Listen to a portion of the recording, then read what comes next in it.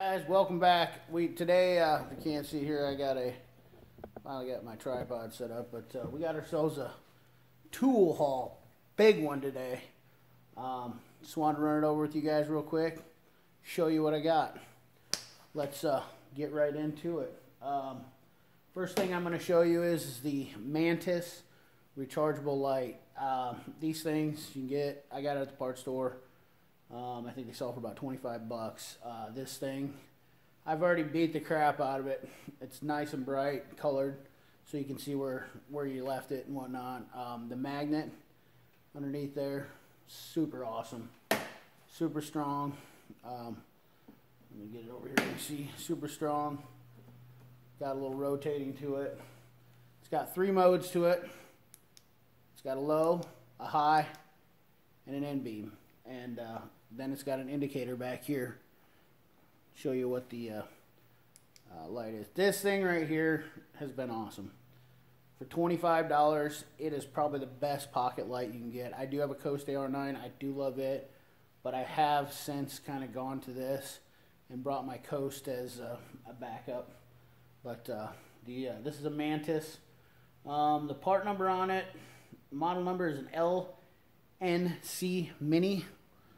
It's LNC Mini. See if that'll focus. Probably not. It's an LNC Mini. That's the that's the model number. Um, this thing has, uh, I think it's about 150 lumens, 200 lumens. As you can see, it's not it's not dim. It's got some brightness to it, and uh, everybody I gave it to is impressed. So that's the Mantis LNC Mini. Great tool. Uh, next thing, kind of basic, but I got rid of some of my old spark plugs. Um, the older style spark plug sockets. Matco had a deal on these, so I got the uh, magnetic um, spark plug sockets. And like I said, some people say that the magnet part causes the porcelain to break. Um, I have used these and haven't experienced any issue with them. Um, as you can see, I changed a set of spark plugs in a Chrysler and a Jeep, and a set of spark plugs in a Ford.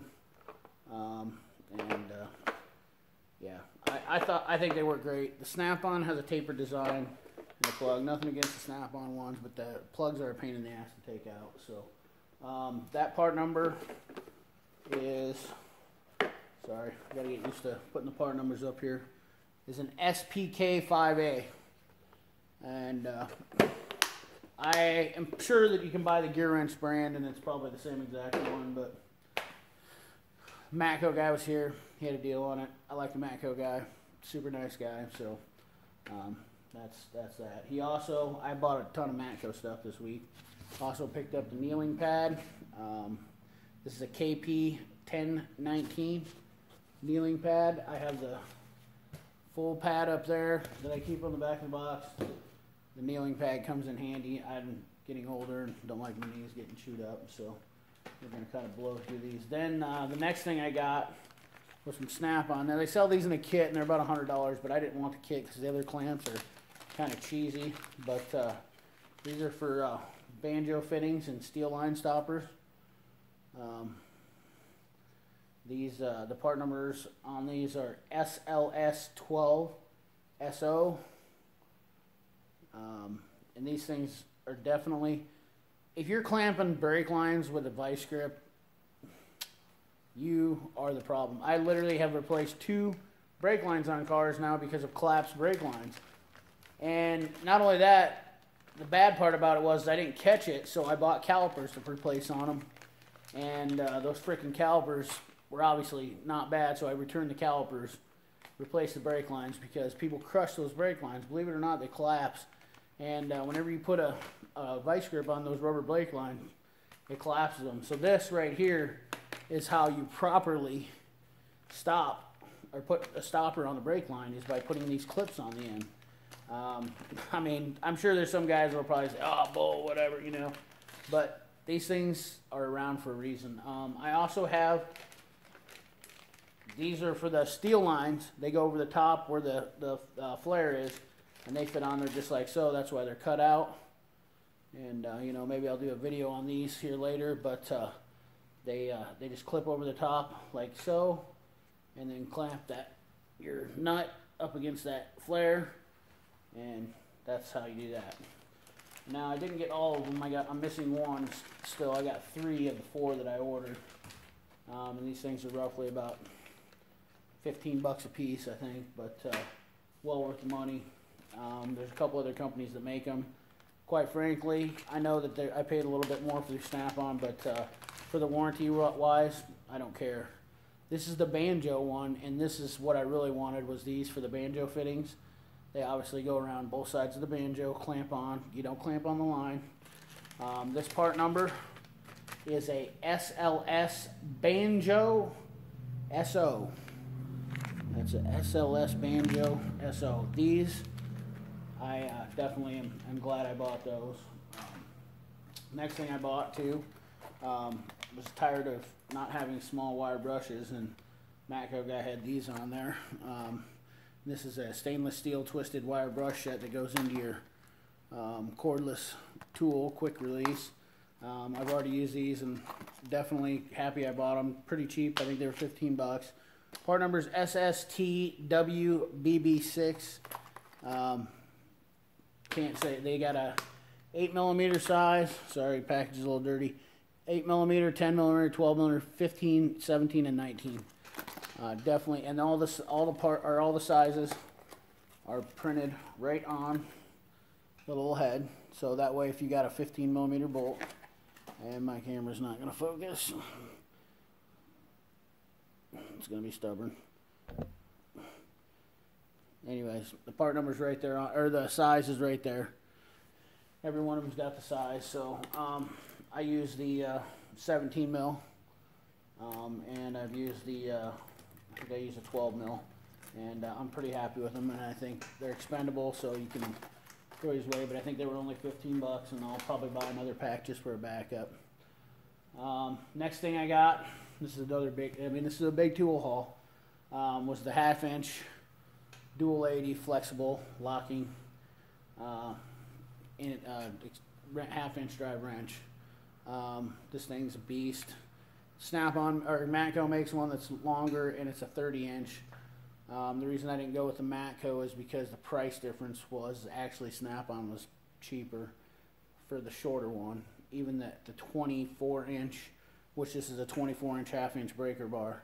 Um, Snap on was still cheaper.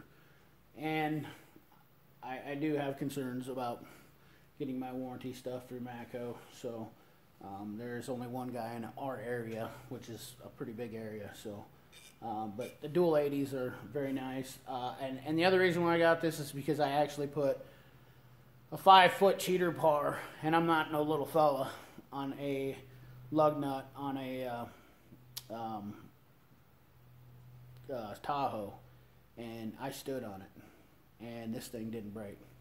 So it's pretty beefy. I am kind of a little bit. I don't. I'm. I'm gonna. I'm not gonna lie to you. I'm not a big fan of these locking flex edge from Snap-ons. Uh, I definitely think Matco's got a better design. Um, this thing slips off all the time. So if you don't want it to flex, which I try to keep it off, is like that. But for some reason it jerks. It just bumps over and and uh, I'm not. I'm not too sold on this yet. On this locking, it's nice and quick, but you know whatever. It's kind of a.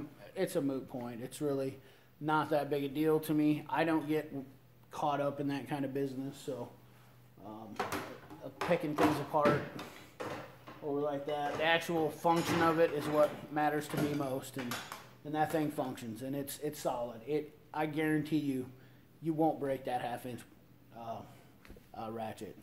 If you do, you need to we need to talk because you know I'm a I'm a I'm a pretty good sized dude and. I put some. I put the beans to it. I poured it to them, and uh, you know. Anyhow, um, the next thing I got, I needed a new torch. Um, I bought a Weller too, and it's not here yet, but uh, I needed a new um, cordless torch. I really want to get the Milwaukee electric one, but uh, just not feeling it yet. Um, haven't really seen anything that's been definitive that said that it was good to go. Um, so this is an SK8 MAT. Um, he had a good deal on these things. Um, I, uh, I, I- think it'll be all right. I, we'll see how it works, but it definitely gets hot enough. I've been doing a lot of soldering, a lot of electrical. Um, I tried it out. Um, this thing got smoking hot. Um, it's got a nice aluminum housing. My old torch finally gave up the ghost after seven years. So, um, and it was um, Econo torch, Master Master Cool. Um, so, I could have bought the Portasol or the one from Snap-on, which is basically a Portasol, but uh, the price difference for this, um, this thing hopefully will work out good. I'm not as hard on tools as some guys. I take pretty good care of my stuff, so I don't normally have the stuff, but it's got a flux tray in it. Um, you got your sponge and clean off your tips, heat shield. Um, it's got a couple tips in it, smaller tip, um, bigger tip, um, knife tip. This flat blade tip, I'm not really sure. It's like an angle. Uh, I'm guessing that's for um, cutting, but uh, uh, all in all, I think it'll be a pretty decent kit. Got a nice case with it, nice window in it see everything. Nothing too fancy, nothing out of the ordinary, pretty basic stuff, but uh, still a nice kit.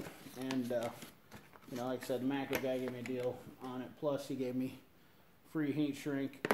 It came with the soldering torch, so wasn't free, but, you know, um, it's a good deal. So, anyways, that's the part number on that. If you guys are looking for a heat shrink kit, SK, STK 160.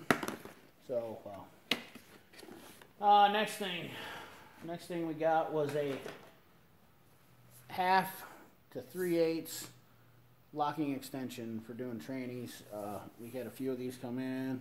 I've got a 24 inch, but I just wanted a bigger one. We're starting to do some of these truck trainees, and uh, we had a F-150 and. Uh, just needed this guy. A little disappointed. I, I thought I was going to get a snap on. I got a blue point, which means that most likely I could have probably found this anywhere cheaper. Um, but hey, it is what it is. I'm not a fan. I don't have. I don't own very much blue point stuff because I don't. I'd rather buy name brand stuff. Just the simple fact is, and get the warranty on it. You know, I work in the shop and I'm busy. I don't have time for it. I'll spend the money. But uh, anyways. Uh, so that's just pretty standard, half to three quarter. Then I picked up uh, some uh, AC stuff. Um, this thing's pretty pretty neat. Got a uh, um, black light on it. Came with some glasses. Pretty basic. Um, was when I bought the Mantis at the part store. But here's the cool thing about it. Yeah. Oh, we're not done yet. Look at that. And this is a magnet on the end. Let me give you some, let me show you here. Yeah. So this dual tool, when the light goes bad in it, um, he get and the parts store guys gave this to me, but uh, um, anyways, it's you know well worth the money. It's got a magnet here. Um, just nice little quick black light if you're doing AC checks. So that's kind of nice. Um, Next thing I got was I bought a set of new fluke leads. Um, needed a new set and got all the nice leads here um, for my multimeter. Um, so these are all banana clips. Um, and uh, it's got a nice magnetic strap to it. So when I'm trying to do a diagnose, I can hang this thing up on the car and it'll stay right there. And then boom, I can have both hands free. I got banana clips so I can plug them in. Definitely a big fan of banana, banana clips. That's kind of a that's kind of a thing for me. I don't do anything electrical without banana clips. That's what I want to do. So, thanks a lot, guys.